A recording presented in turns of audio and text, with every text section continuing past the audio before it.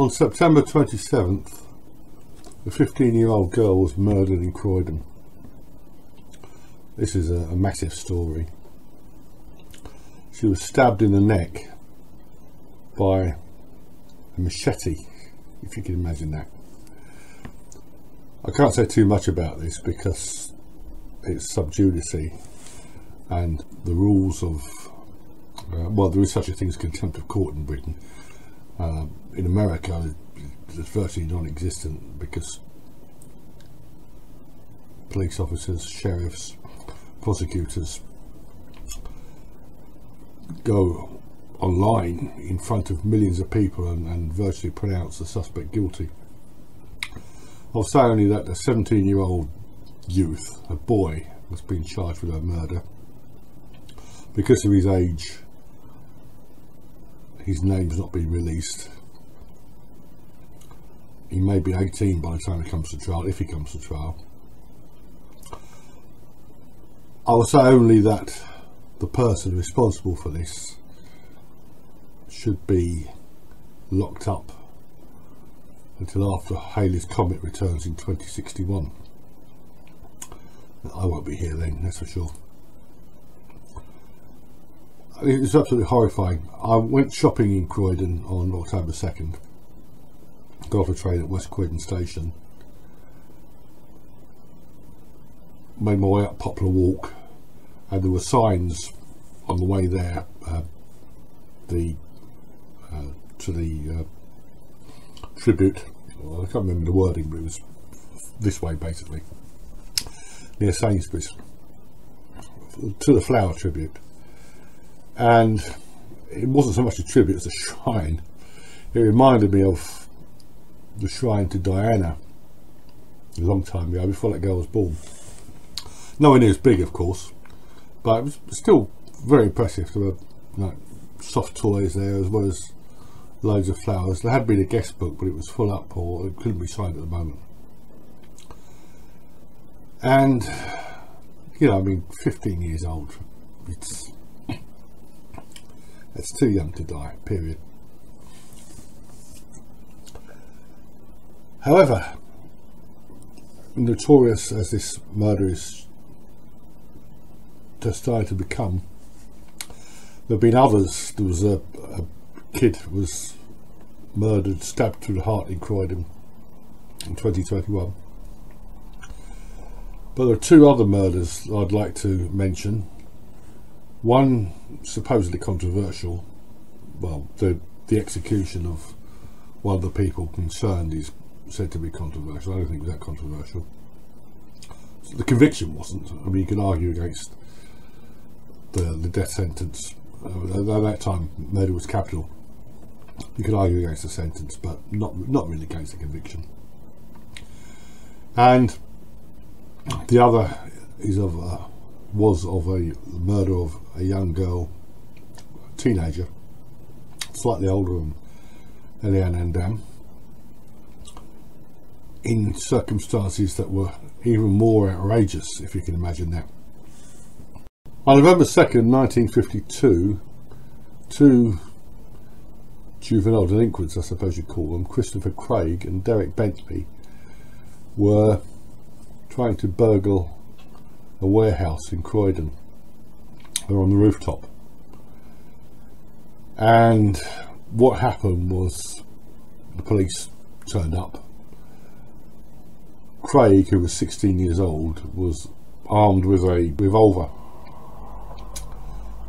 a 455 Webley caliber revolver at that time guns were well they, they weren't illegal let, me put it that way but there was still a lot of guns in, in, in circulation after the second world war and somehow this 16 year old kid got hold of a gun police turned up and Craig didn't want to well, it wasn't going to be taken easily. I'm not saying it wasn't going to be taken alive, but it's absolutely stupid I mean, burglary. He ended up shooting uh, police officers. He, he, shot a detective, a non-fatal injury, and he also shot a police constable, Sidney Miles, shot him in the head. And headshots are usually fatal, not always, but this case, this time was. And there was a great deal of manufactured controversy about the case because Craig was too young to hang, Bentley was not. Uh, Craig was actually lucky to survive because he jumped through a, uh, well, he, he, fell a long way, put that way, and he was taken to court on a stretcher, he broke his back or something. Uh, he, he was released, uh, many, many years later he was released, I don't know what happened to him. I think I saw him in a documentary or something many years later. I think he was bald actually. But Derek Bentley, uh, who didn't fire the gun, and there's a lot of so-called controversy about letting him have it, Chris, and Chris let him have it. So he was sentenced to death. They were both convicted. He was sentenced to death, and there was a massive campaign because it, it, basically Derek Bentley was a retard and a, and a waste of space. I'm not saying that he couldn't have made something of his life. Even retards can do that, but you know, I mean, I, I, I always think that uh, most people think, and law thinks that youth deserves a lot of leeway. This is one reason there's anonymity for um, juvenile prosecutions in the United States. They can have their records sealed, but the, that leeway carries only so far. I mean, the, the, the murder of James Bulger, for example, by two 10 year olds. I mean, even 10 year olds know that uh, like a 10 year old may not understand that bribery is wrong or some sort of corruption, but any kid of that age knows murder is wrong. But Bentley was he was hanged. There was a, a, big campaign. Well, it was a big campaign to reprieve him. And that didn't happen, and there was a big campaign for a posthumous pardon, and um, eventually it was granted. Shouldn't have been, but you know, little boys shouldn't play with guns any more than they should play with knives, especially big knives, especially machetes.